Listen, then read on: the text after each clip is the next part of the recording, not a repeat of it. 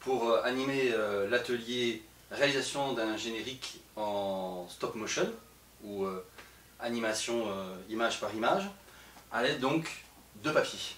Liste du matériel nécessaire pour la réalisation de cet atelier. Crayon papier et sa gomme. Taille crayon, évidemment, paire de ciseaux, du scotch, le papier coloré qui va servir à faire les lettres qui seront découpées, le papier coloré qui va servir à faire de fond sur lequel seront posées les lettres découpées. L'appareil photo. Première étape, lister tous les mots dont on va avoir besoin pour le générique. Évidemment les prénoms, mais aussi des mots comme un film réalisé par, ou bien une création réalisée par, ça peut être euh, les épidores, les enfants de Saint-Paul, bon voilà. Ça il faut voir, il ne faut pas non plus trop en faire parce que ça va être un petit peu long à réaliser, mais il faut prévoir tous les mots. Une fois que les mots sont choisis, que la liste a été faite, dessiner les lettres sur la feuille de papier qui va servir à être découpée. Une fois que les lettres sont dessinées, les découper, commencer l'animation. Donc pour ça, prendre la feuille de papier qui va servir de fond, la poser à plat sur un support comme une table, la scotcher pour pas bouger, et ensuite amener les lettres les unes après les autres pour les animer. L'idée c'est qu'à chaque fois qu'une lettre est posée sur la feuille de papier, on fait une photo. Évidemment les lettres posées restent pour pouvoir à la fin constituer le mot. Et à chaque fois que la lettre bouge ou qu'elle est posée, photo. Je bouge la lettre, fais photo. Je rajoute une lettre, je fais une photo. Je bouge la lettre, je fais une photo. Le plus difficile c'est d'arriver à garder la bonne distance entre l'appareil photo et la feuille de papier pour être sûr que ça ne va pas trop bouger d'une image à l'autre. Après, si ça ne bouge pas beaucoup, c'est pas très gênant. Il y a une petite astuce qui consiste à dessiner euh, sur la feuille de papier à chaque angle un petit repère et euh, à chaque fois que l'appareil photo est positionné, s'assurer que les repères n'apparaissent pas dans l'image, évidemment, ce qui fait qu'on sera bien cadré à peu près à chaque, euh, à chaque cliché. Voici, donc là j'ai ma liste avec tous les mots dont je vais avoir besoin.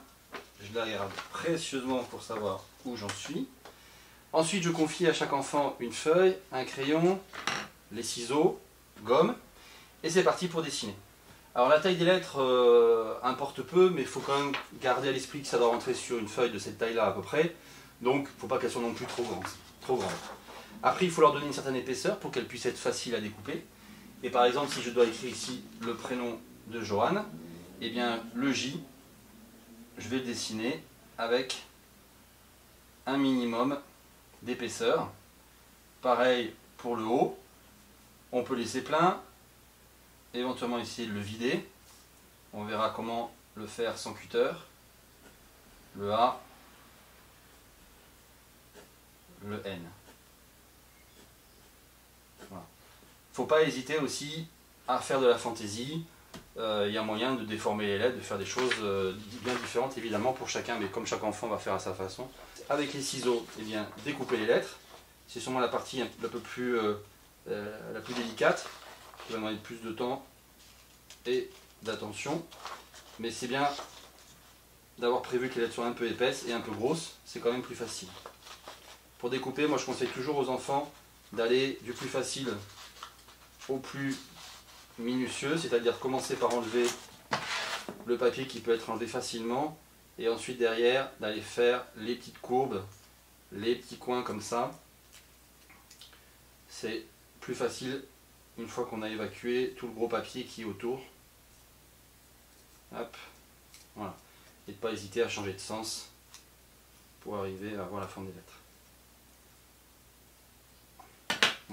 L'animation, eh soit la lettre apparaît comme ça, et là je fais ma photo, soit la lettre apparaît tout doucement, par exemple par le haut, je fais une photo, je la fais avancer, je fais une photo, je la fais avancer, je fais une photo, et ensuite viendra une autre lettre. Ils peuvent s'amuser s'ils veulent à remplacer les lettres par des objets, voilà, moyen de faire un O, je fais une photo, je peux bouger un peu mon haut, il peut faire du surplace, juste pour le plaisir de l'animation, et donc à chaque fois, clic-clac, clic-clac, je fais la photo. Le scotch, il va me servir à fixer la feuille de fond sur la table où je fais des photos. Si c'est pas une table, ça peut être une chaise. Je mets un petit bout de scotch aux quatre coins, que je ne photographierai pas évidemment, et euh, ensuite ça évite que la feuille bouge